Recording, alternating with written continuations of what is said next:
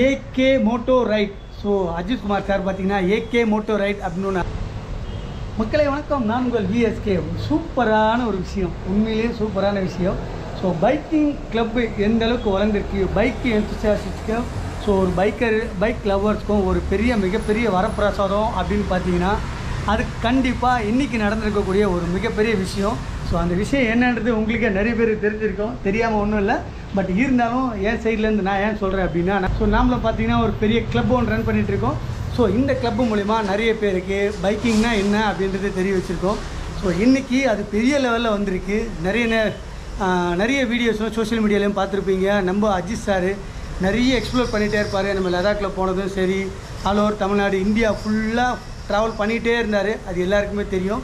So அது எதுக்காக அப்படின்ற ஒரு பெரிய விடை கிடச்சிருக்கு. அதுக்கு காரணம் என்னன்னு நீங்களே தெரிஞ்சிருப்பீங்க. AK moto ride so Ajith Kumar sir பார்த்தீங்கன்னா ஏகே மோட்டோ ரைட் அப்படின்னு ஒன்று ஆரம்பிச்சிருக்காரு.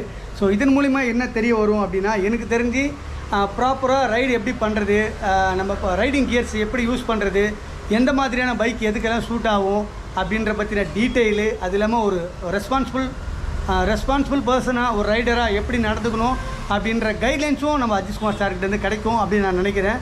ஸோ பைக்கிங் எந்த அளவுக்கு பெரிய பூமில் இருந்தால் பைக்கோட ஆர்வலர்கள் இவ்வளோ பேர் இருந்தால் ஸோ இந்த விஷயம் அஜித்குமார் சாரே ஸோ அல்டிமேட் சார் அஜித்குமார் சாரே பார்த்தீங்கன்னா இந்த விஷயத்தை எடுத்து நடத்துகிறாரு ஒரு பெரிய ட்ராவல் கம்பெனி ரேஞ்சுக்கு நட நடத்த போகிறாரு ஸோ அது பயங்கரமான ஒரு சந்தோஷமான விஷயந்தான் உண்மையிலேயே. அதனால தான் இந்த வீடியோ உடனே மேக் பண்ணுறேன் சீரியஸாக சொல்கிறேன் பைக்கிங் வேறு லெவலில் போகும்.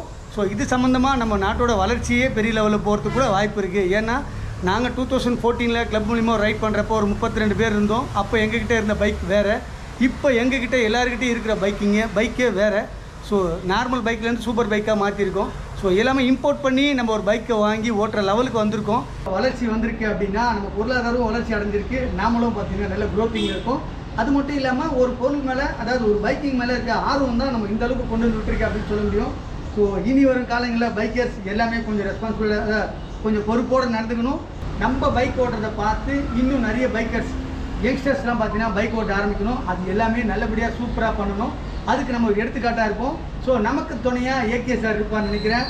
மக்களே இந்த நியூஸ் உங்களுக்காக விஎஸ்கேலேருந்து பை பாய்